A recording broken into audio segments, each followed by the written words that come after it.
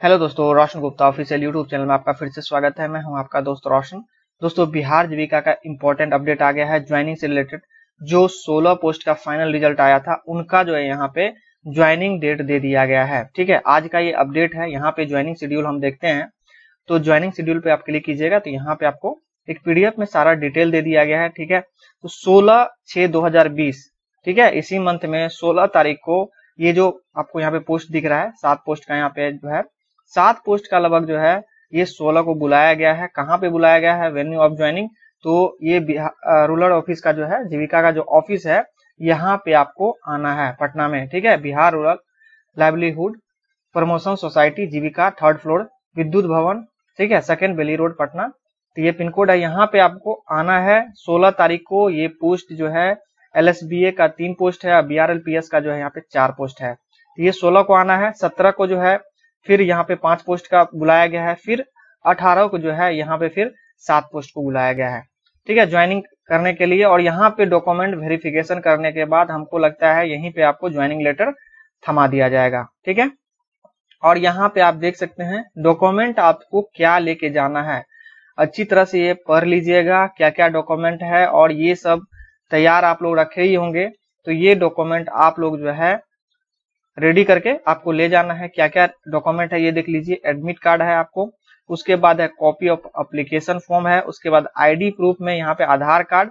ठीक है, आधार कार्ड यदि नहीं है तो इलेक्शन कार्ड चाहिए, पासपोर्ट, ड्राइविंग लाइसेंस या फ़ोन बिल या राशन कार्ड। ये आपको चाहिए। ठीक है? उसके बाद यहाँ पे पैन कार्ड भी मांगा जा रहा है आपसे। उसके बाद परमानेंट एड्रेस प्रूफ मांगा जा रहा है। डोमिसाइल सर्टिफिकेट या एसएलसी आप इसमें दे सकते हैं स्कूल लिविंग सर्टिफिकेट उसके बाद है टेम्पोररी एड्रेस प्रूफ जो आपने यहाँ पे मेंशन किया हुआ है टेम्पोररी एड्रेस प्रूफ जो है तो वो आपको वही देना पड़ेगा, जहाँ पे आपने अल्टरनेट एड्रेस प्रूफ जो फॉर्म में भरा होंगे, वही आपको देना पड़ेगा, उसका प्रूफ देना पड़ेगा। उसके बाद दो फ़ोटो आपको चाहिए। देखिए, यहाँ पे आठ नंबर पे आइए। आठ नंबर पे कास्ट सर्टिफिकेट यहाँ पे मांगा जा रहा है। ठीक है, जो कैटेगरी कैटेगरी में आते हैं तो कैटेगरी में जो आते हैं यहाँ पे जो सर्टिफिकेट चाहिए वो एसडीओ या उससे एवब के से बना हुआ जो होना चाहिए। देखिए, नौ नंबर पे आते हैं तो यहाँ पे डोमिसाइल सर्टिफिकेट बोल रहा है not required if applied under unreserved category unreserved category में यदि अप्लाई आप किए हुए हैं तो डोमिसाइल सर्टिफिकेट का ज़रूरत नहीं है। उसके बाद आपको यहाँ पे एजुकेशन सर्टिफिकेट में चाहिए मार्कशीट चाहिए। उसके बाद एक्सपीरियंस सर्टिफिकेट यदि एक्सपीरियंस आप डाले होंगे, सारा पोस्ट एक्सपीरियंस से रिलेटेड था तो एक्सपीरियंस सर्टिफिकेट यहाँ पे आपको मांगा जा रहा है। उसके बाद आप जो प्रीवियस कंपनी में काम किए हैं तो उसका रीजनिंग लेटर चाहिए, ठीक है? और उसके बाद लास्ट थ्री सैलरी स्लिप चाहिए, ठीक है? लास्ट थ्री सैलरी स्लिप तीन मंथ का सैलरी स्लिप यहाँ पे चाहिए। उसके बाद bank settlement, last three month का आपको दिखाना पड़ेगा, सैलरी स्लिप के अनुसार मैच कर रहा है कि नहीं, बैंक स्टेटमेंट, वो आपको देखेगा यहाँ पे, बैंक स्टेटमेंट आपका चाहिए, तीन मंथ का। उसके बाद मेडिकल सर्टिफिकेट आपको चाहिए यहाँ पे।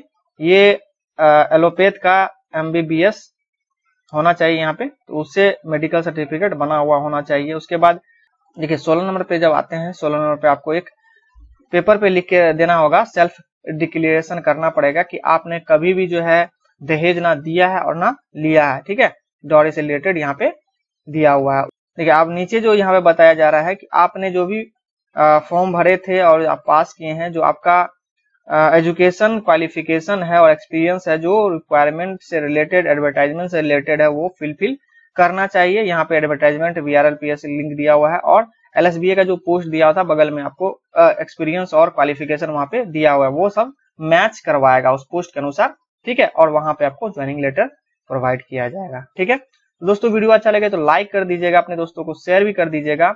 मिलते हैं नेक्स्ट वीडियो में। Take care bye bye